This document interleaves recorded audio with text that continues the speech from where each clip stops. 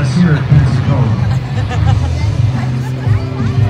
Chris Darnell, the son of Marilyn and Neil, has been driving this truck for a long time. They're from Missouri. And I know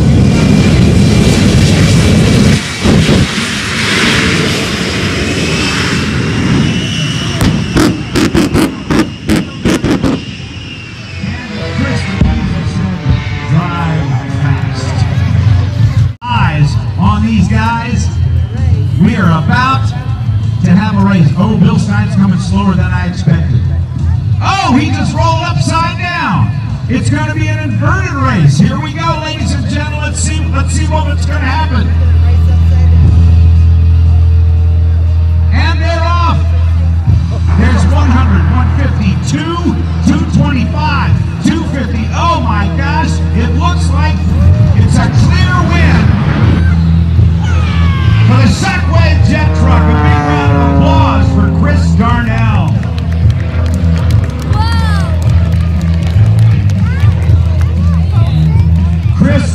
Those two 16 foot There's to cross not once, not twice, but three total times in one single maneuver. There's cross number one at the bottom as they go up and over. Each pile up into position into the trail formation as they set up for the next part of our show.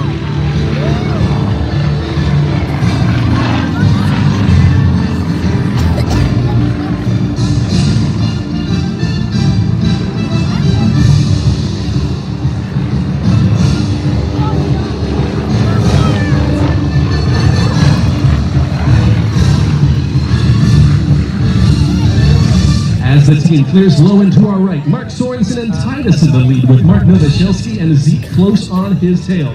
Cameras at the ready because the Tigers are in for a maneuver you do not want to miss. They're going to fly straight up into the vertical, and as soon as they run out of airspeed, they're going to tumble those Yak 55s across the sky. This, ladies and gentlemen, is the Twin Tigers Tower of Tumbles.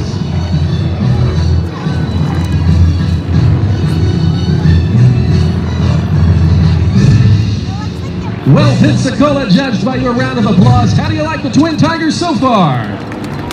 That's what we love to hear.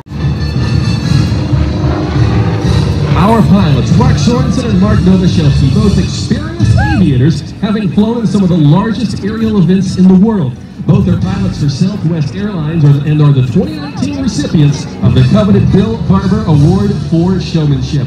Now, I want you to keep a very close eye to the bellies of those tigers as they climb skyward for a very special message to all of the veterans who have served this great nation of ours. Look to the wings as we salute the men and women of our armed forces with the God Bless America Hammerhead turnaround. How about a nice round of applause to all the veterans in attendance today who have helped preserve America's freedom.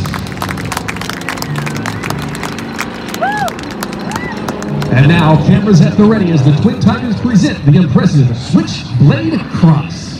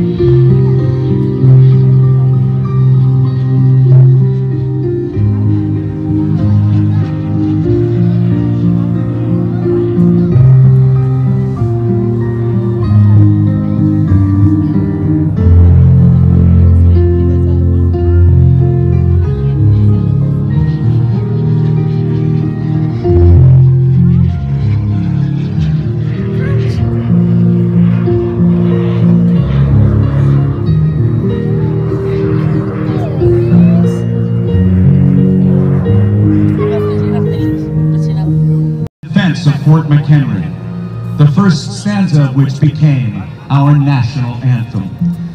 Ladies and gentlemen, wherever you are within the sound of my voice, I'd ask that you stop what you're doing, stand.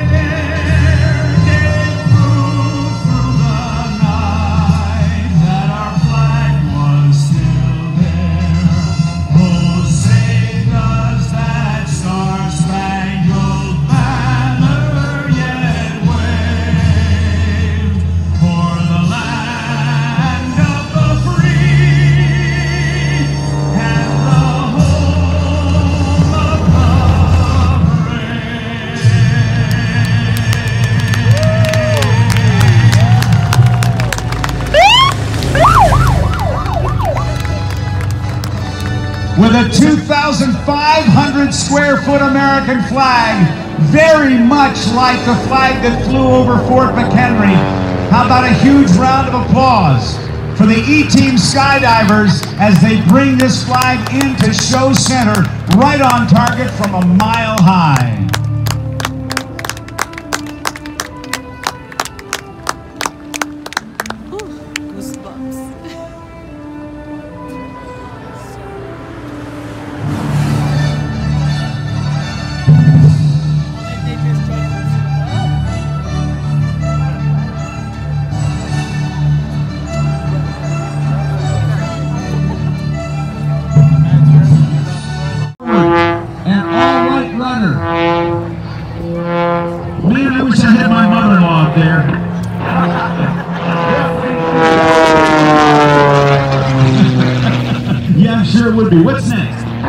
You can explain the whole connection and from him uh. I will. It was 1972 in the World Aerobatic Championships that Charlie Hillard climbed up and did what everybody did, but then it got different. He hung it on the prop and backed reversed. Left is right, right is left, forward is back, back is forward, and he stunned the world with that maneuver called torque roll and won the World Aerobatic Championships in 1972. This is a super slow roll. If you can do a super slow roll well, you can do anything well, right?